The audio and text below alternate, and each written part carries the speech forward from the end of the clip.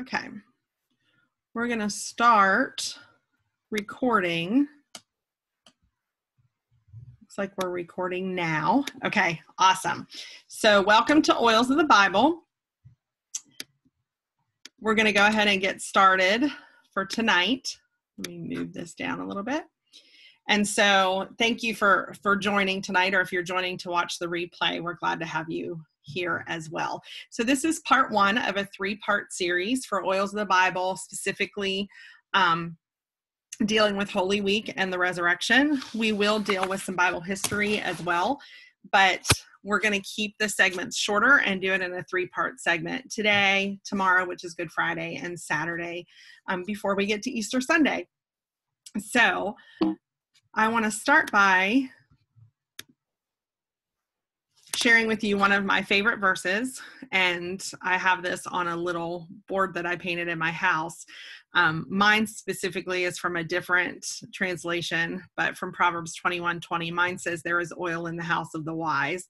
Um, this is, There is precious treasure and oil in the dwelling of the wise. And so that's one of the reasons that I love to teach this class, and it's one of my very favorites to teach because I have found that for the wellness of our family and in taking care of ourselves in mind body and spirit health that essential oils play a huge part. And so they have become a treasure to us and i feel like the lord has given us wisdom to learn how to take care of ourselves in a natural way by using the plants that he placed on the earth. So i want to share a little bit about that with you tonight. So let's go on to oh, hold i think someone else is joining us so let me get them in the chat room here. Okay, so this is my family, and this is the reason why we started using essential oils.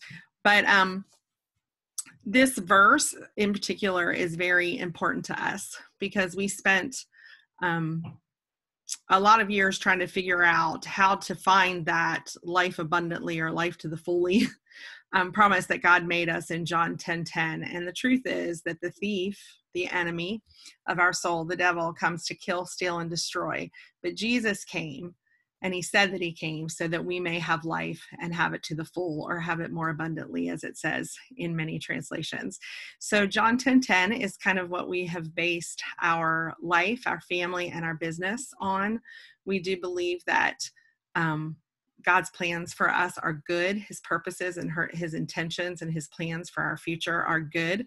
That we were created to walk in health in our mind, body, and emotions so that we um, can be agents of his glory upon the earth and so that everything we do can point back to Jesus. And I hope that in this series, you'll find that all of this points back to Jesus. So tonight, the oils that we are looking at are going to be different. This is different than um, an essential oils made easy class would be.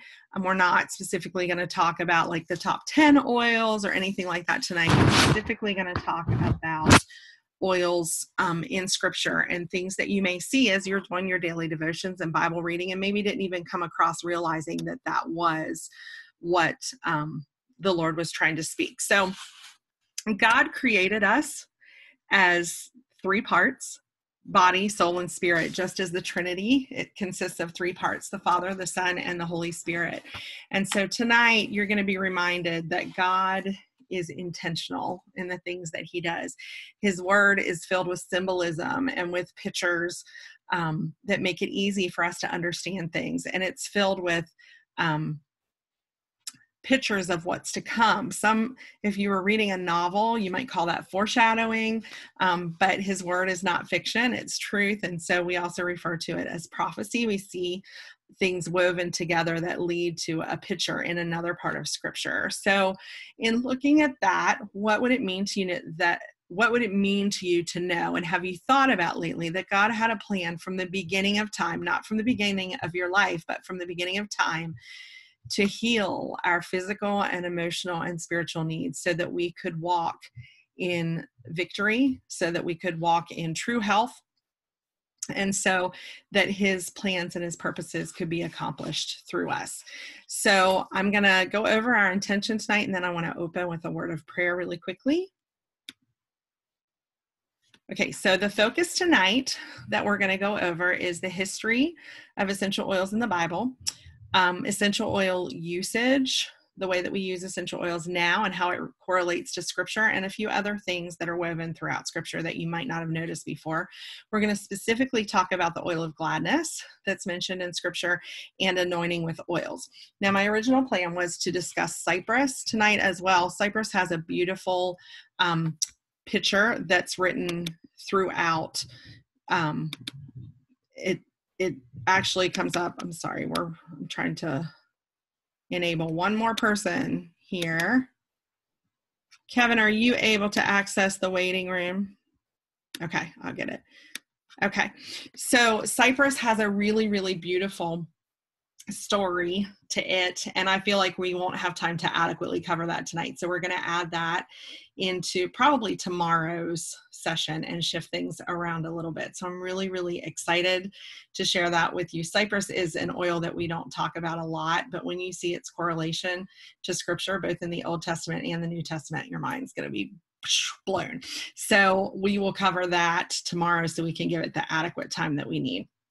So let me just take one moment and let's open with a word of prayer that our minds would be open and that the Lord would be able to re- reveal things to you and to me specifically tonight as we meet with our time together. So, Jesus, we thank you for this week that we're walking through. We thank you, God, that you remind us this week that so much can change in seven days and even in three days. And in this time that we're in, where we need a little hope and reassurance, we thank you that everything we're going to discuss and talk about points back to you. So, Lord, I pray that as we're all in our own living rooms tonight, and even the people that are watching this later, that you would just come and dwell among us, that you would reveal insight that is applicable to each of our own lives, that you would give us wisdom through your word, and that you would um, reveal truth to us as well. You meet us so personally where we're at, and we thank you. We, we just give you the invitation to do that and to speak very clearly in your precious holy name. Amen. Okay, so I am gonna, I think Kevin is monitoring chat. Nod at me, yes, if you are. Okay. All right, so he's monitoring the chat somewhat here. I'm unmuting you. So, I'm tucking the kids in and then I'll be back to monitor the chat. This is bedtime. So if he doesn't answer you right away, um, know that he will when he comes back. But if you guys have questions and you want to type in chat, feel free to do that. If you can't access the chat, um, write down any questions that you have and we will try to open up at the end for a few minutes to answer questions. Okay, so if you participate in either answering questions at the end um, or typing in the chat box, we are going to do a giveaway for a Bible based rollerball tonight. We're going to do that at each of the three classes. So interaction gets entry into, into and that's the advantage of you can watch the replay, but if you show up live, you get to think about winning or have a chance to win. Okay, I'm trying to remute him. My, it's not working. Okay, awesome. Okay, so let's go on and get started. So we're going to start at the very beginning. By the time we get through Saturday, we'll get we'll start in Genesis and we'll get through Revelation, right? No, they're going to be short. This is the Cliff Notes version, but I want you to see that laced throughout the Word of God, that from the beginning to the end, um, there's a story that's woven beautifully. And God did that to all point to Jesus, but with us in mind because he brings us into communion with him. So nothing's by accident. And that's what I pray that you see tonight. So we're going to look at Genesis and at John, both the, the Old and the New Testament. I'm not going to read all of these for the sake of time, but I want you to have the references so you can look back at them later. So in the beginning, God created the heavens and the earth, and the earth was formless and empty and darkness covered the deep waters. And the Spirit of God was hovering over the surface of the waters. And then God said, Let there be light. And there was light. And God saw that the light was good. And then he separated the light from the darkness, and God called the light day, and he called the darkness night. And evening passed, and morning came, marking the first day. Then God, it goes on to say that God created a space between the waters in verse six, and and it seals up the second day. And then we're especially going to focus on verses 11 and 12. Um, when we're going into day three. So, verse 11 starts with Then God said, Let the land sprout with vegetation, every sort of seed bearing plant, and trees that grow seed bearing fruit. These seeds will then produce the kinds of plants and trees from which they came. And that is what happened. The land produced vegetation, all sorts of seed bearing plants, and trees with seed bearing fruit. Their seeds produced plants and trees of the same kind. And God saw that it was good. Evening passed and morning came, marking the third day. So, what I want you to take away from this is that God used his intelligence to speak life into all things, even the plants that he created for our good, as you're going to see in a moment. So if we skip to John 1, um, 1 through 5, but let's look at 1, 1 through 4 specifically. In the beginning, the Word already existed. The Word was with God, and the Word was God. Type in the chat box if you know who the Word was. He existed in the beginning with God. God created everything through him, and nothing was created except through him. The Word gave life to everything that was created, and His life brought life to everyone. So, if you didn't get to type in there yet, the Word is Jesus. And so this says nothing was created except through Him. So, let's go on to see another favorite scripture. These are specifically the oils that we're going to cover in this Oil of the Bible series. But this specific um, verse, I feel like lays the foundation for um, what we're covering during this series. So Ezekiel 47 12 says, Fruit trees of all kinds will grow on both banks of the river. Their leaves will not wither, ne- neither will their fruit fail. Every month they will bear fruit because the water from the sanctuary flows to them. Their fruit will serve for food and their leaves for healing. So I don't know if you're like me. I read that book, that verse in Ezekiel tons of times before I discovered essential oils. And I knew that God provided fruit on trees for food. And um, he, he gave us food from plants. But I never really, I somehow I missed that part about the leaves being for healing. And so um, when we talk about essential oils and the plants, they come from God put these things on earth for healing and for nourishment of our bodies. So it's pretty pretty awesome, pretty mind blowing. So let's look at a biblical history of essential oils um, quickly. So when we look at, a lot of times we hear the, the oil uh, like trend that's going on right now and think it's a new thing but it is really not. It's ancient history. It essential oils were the first medicine of mankind dating back more than 5000 years. They they are recorded by egyptians through hieroglyphics.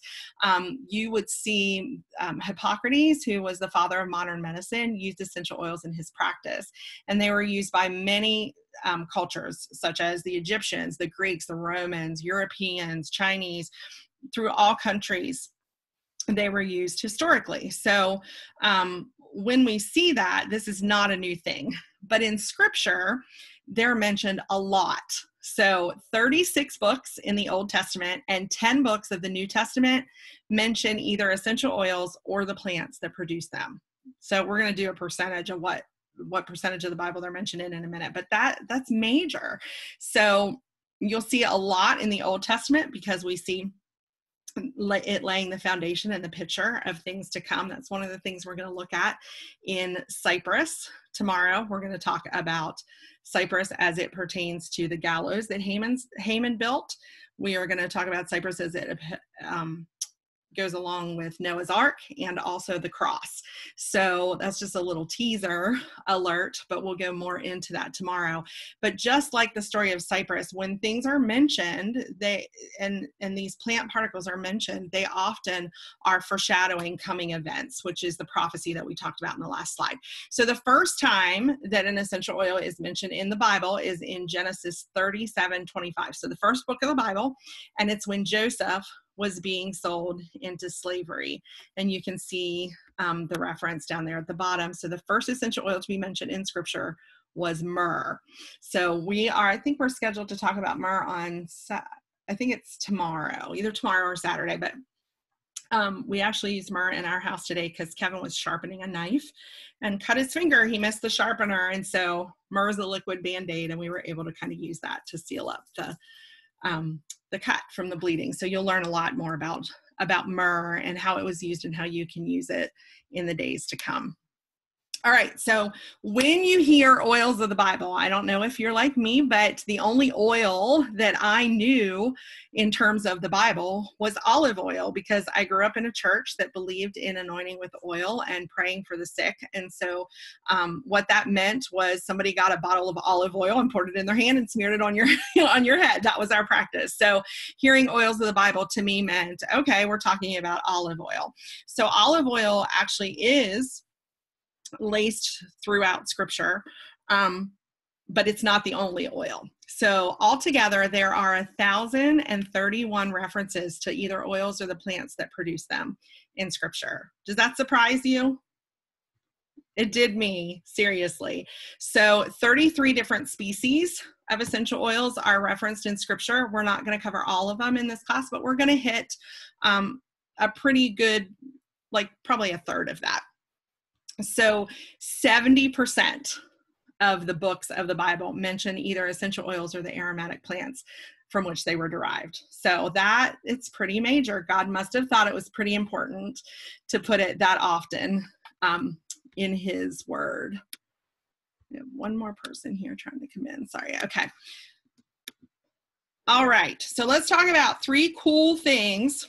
Well, before we get to that, let's dwell on olive oil one more second olive oil is mentioned 191 times um, in the in the King James version. The the oil word is mentioned 191 times, but olive oil is only mentioned seven of those times. So we see not just the plant, but we see the word oil 191 times.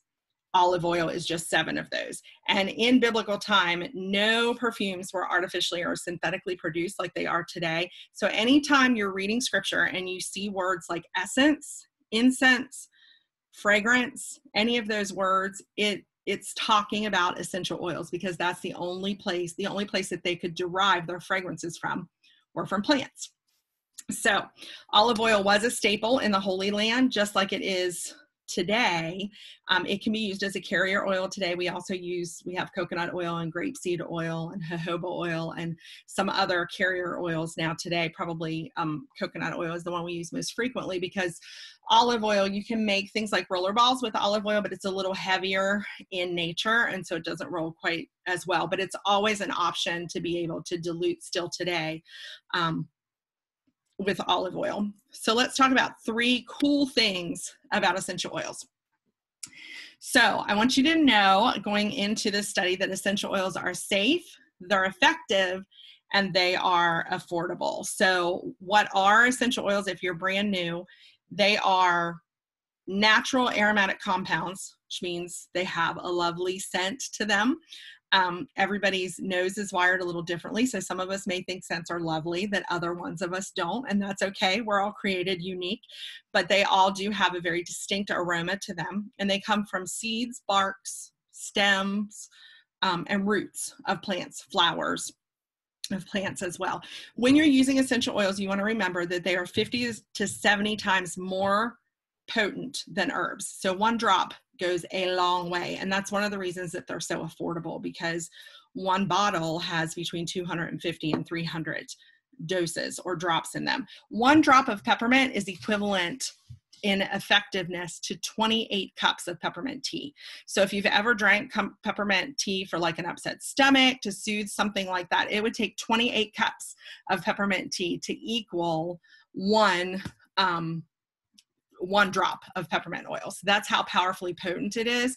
And so when you're using them, just respect them in that way that they less amounts of oil more often are able to be processed better through your body.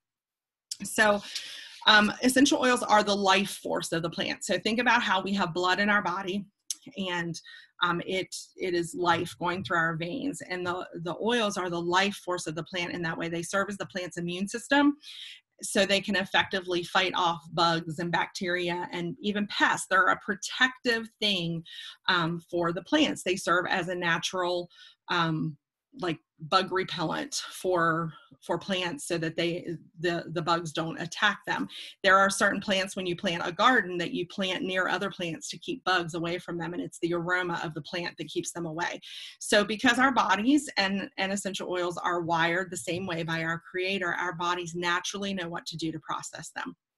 So um, they really effectively work on the cellular level. They don't just treat symptoms, but they get to the root of the problem and help us heal ourselves um, or, or put ourselves in the best optimum position so that our bodies our cells are healthy and can help our bodies heal effectively because God's plan and intention is for our healing and our full health in every way. So they're also affordable, much more so than traditional medical care, not just in copays and um, cost of care. And I'm not in any way downing doctors because I believe that God gifts us all for what He wants us to accomplish on earth, and that includes doctors. But I do think that sometimes we hand away the wisdom that God wants to give us to care for ourselves effectively and then want the doctor to fix everything. And what essential oils do is help us to learn to take some of that that care back and have confidence in the wisdom that God is speaking to us at home so that when we seek out a doctor it's because we really need their wisdom and expertise, not because we just turned our mind off and stopped thinking at all for ourselves. This brings a lot of comfort when you're taking care of a sick child in the middle of the night and the doctor's office is closed and you have to to figure out what to do for them until morning. So, sometimes we found in our experience by the time morning gets there, you no longer need the doctor's expertise. so let's talk about three ways to use essential oils. These are, you're going to see how this correlates to scripture. So the three ways that we're going to talk about using doTERRA oils, um, which is what we're talking about tonight. Not all oils are created equally, and we're not going to cover that like we would in, um, in an intro class, but I do want you to have some basic knowledge that um, doTERRA oils, because they're the highest grade essential oils on the market, they are formulated to be used aromatically, topically, and internally.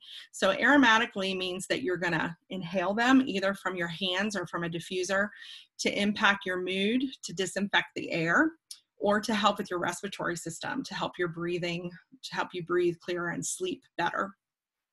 Topically, you would dilute with an oil like olive oil or fractionated coconut oil that you see pictured there in the picture. And this gives you a more localized effect. Like if you have an upset stomach or you have knee pain or you have back pain or you have discomfort in your head or an earache, you can apply directly to those areas and get a quicker, more targeted um, effect. And internally, again, this is exclusively to doTERRA oils because not all oils are created equal.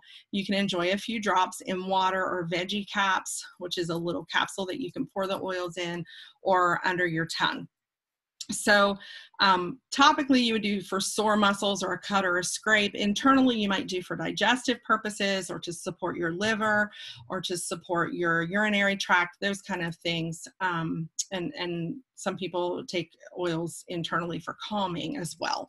So if a doTERRA oil is formulated for internal use, it's going to have a supplemental facts box on the back. This is the one oil we're going to be discussing tonight, and you can see it does not because this is an oil that's formulated as a mood oil. This is what we're going to use as our stand-in for the oil of joy. So we'll talk more about that tomorrow and Saturday. Okay, so this is the biblical foreshadowing of those three ways aromatically, topically, and internally to use essential oils. Examples of where it's used in scripture. So in Exodus 35, we find an example of an aromatic use where we talk about the incense altar and the poles and the anointing oil and the sweet incense, the, the tabernacle, and how it was filled with this aroma topically in 2 Kings 9 6, we see that Jehu is being anointed, and so the oil is poured topically over his head. And then internally in Mark 15, when we're talking about um, the crucifixion, we're going to talk some more about this tomorrow as well, but they offered Jesus wine mingled with myrrh in the wine. So this would have been an example of internal usage that he, and we'll talk about why that would be um, something that he would drink at that time. So you can see that even historically, these methods of use line up with what we do today. Um, so let's talk about a couple of other ways in scripture that um, we see that we can correlate to today as well. So oils were used in scripture for blessing and anointing. They were used for healing. They were used in veterinary use. Um, and if we have time to get to that tonight, I'll expand a little bit. If not, we'll do it in one of the other classes. But in Psalm 23, we see um, the anointing of oil with the sheep there, and we can use essential oils on animals today, just as we could then. Um, food preparation and baking, light and lamps and fuel, consecration of the Levitical priests, commerce and beautification. So through this series, we're really going to focus, besides the aromatic and internally and topically, we're going to focus on the first three, which would be for blessing and anointing, for healing, and for the veterinary use. So let's talk about the biblical um, meaning of anointing. So when we hear the word anoint, you may have um, several different things that you think about in that way, but one of the words for anoint comes from the Hebrew word mashach. Type in the chat box if you th- can think what massage sounds like. I'll give you just a minute for that. Does it sound like massage to you at all? So, when we know about anointing, we lay hands on with care. And so it was a sign of blessing and approval. And we're going to go a little bit deeper um, into that tomorrow. But I just want you to know that this was a biblical practice that actually involved oil and it involved anointing. And I don't know if you realize this, but there is actually a recipe that we're going to talk about um, in this series for the anointing oil. And so God cared enough that He didn't just tell us what was in it, but He actually gave us parts for it. So um, we're going to talk on, I believe that's Saturday, we're going to talk through exactly what that recipe is or exactly what was. There were two different recipes. One was used to burn the incense in the tabernacle, and one was used to physically apply to people. But let's talk real quick about the oil of joy, the oil of gladness. I want to go back to the aromatic use of essential oils. And when we talk about using oils aromatically and what they do to mood, if you were to pinch right here, behind this part of your of your nose is a seated a little thing called it's your limbic system and the, the olfactory system leads to the limbic system but aroma impacts that so if you were to punch pinch this little part. Behind that would be the amygdala. And the amygdala is just an amazing thing that God wired us with. The funny thing about the amygdala it it is it controls our memories our learning our appetite even our food cravings. So if you walk through the mall and you smell mrs fields cookies you might think of a of a time in your life where someone baked you chocolate chip cookies after school and it's warm and comforting and and you start to feel all warm and fuzzy. That's the amygdala at work. When you think about pumpkin pie or you think about any kind of really uh, there there's a certain scent that kevin and i we went to attitash mountain in new hampshire on our honeymoon and when we smell this wood burning scent anywhere that we are it reminds us of our honeymoon because that's the amygdala at work. It picks up on aroma. The only thing that it responds to other than um, it doesn't respond to the written word or any of the other senses but it it does respond to um, music and it responds to aroma. So we actually have an emotional response before we have a rational response because of the way that our sense of smell is um, wired. So the olfactory nerve travels from our nose to the center of our brain where the amygdala is. So whenever you have a response from the amygdala, you'll actually see that your heart rate slows down. Um, you smile and are at peace. And that's what happens when we use essential oils. So, when we talk about the oil of gladness um, and how it's referenced throughout scripture, we don't actually have a recipe for that like we do for the anointing oil. So we're going to use Elevation, which is our joyful blend um, tonight. So Elevation has lavender and tangerine and elemi. A lot of these are ones that we can't buy individually, but they're put together in this beautiful blend. Lemon myrtle, ylang ylang, osmanthus, sandalwood, melissa. And so when we see the scriptures that are used that talk about the oil of gladness, I'm going to read a couple of them to you, and I want you to see just some of the th- the ways that an oil can impact your emotion as you read this while I'm reading to you. So Psalm 45, 7 and 8 says, "You love righteousness and hate wickedness. Therefore, God your God has set you above your companions by anointing you with the oil of joy." All your robes are fragrant with myrrh and aloes and cassia from palaces adorned with ivory. The music of the strings makes you glad. That's my favorite verse because it combines the power of aroma with the strings from the music. So you can see why um, the two most powerful things I think that can affect your mood as a Christian are worship music and essential oils. Um, they take us to a place where God intends us to be healthy in our emotions. And the, there's a powerful thing um, when you pray, put essential oils in your diffuser and turn some worship music on. And it really um, gives you a physical response through the slowing of your heartbeat and making you feel closer to the Lord. Proverbs 27 9 Perfume and incense bring joy to the heart, and the pleasantness of a friend springs from their heartfelt advice. Isaiah 61, 1 through 3. The Spirit of the Lord is upon me because the Lord has anointed me to proclaim good news to the poor. He has sent me to bind up the brokenhearted, to proclaim freedom for the captives and release from darkness for the prisoners, to proclaim the year of the Lord's favor and the day of the vengeance of our God, to comfort all who mourn and provide for those who grieve in Zion, to bestow on them a crown of beauty instead of ashes, the oil of joy instead of mourning, and a garment of praise. There it is again, combining the two for a spirit of heaviness or a spirit of despair. They will be called oaks of righteousness, a planting of the Lord for the display of his splendor. There's one more verse I'm not going to read in Hebrews 1 9, but I want to focus on that last part. We are called to be a planting of the Lord for the display of his splendor. So, really, that's what this teaching is all about because it all points back to Jesus. Everything that we're doing, we want to point back to Jesus. And when we're healthy, it points back to Jesus. We can serve others in a way that he intended us to, that's different than if we're broken and we're um, down and our bodies aren't functioning properly. So um, this verse means a lot to me. Third john 2 it's another foundational verse for what we do. Beloved i wish above all things that thou mayest prosper and be in health, even as your soul prospers. See, when our soul is broken, it affects our body. When our body is broken, it affects our soul, or our soul affects our mind when we're not doing well there. So, um, those things all work together, just like the Trinity does. One more thing I love this paraphrase You are the child of the king, you are mine. My desire is for you to prosper to be healthy and whole, and for your soul to be fully satisfied. I'm crazy about you. Love, Papa. Isn't that beautiful? So I'm going to unmute. We're down. We have about two minutes left. If anybody has questions, so I'm going to go through and unmute. We're going to wrap there tonight. And um, let's see if I can get everybody in here. All right have Judith and Does anybody have any questions or anything you want to share tonight? What is the verse in Isaiah and the one in Hebrews you just read? Okay, Hebrews is 1 9. And um, let's see. Isaiah 61 1 through 3. Okay.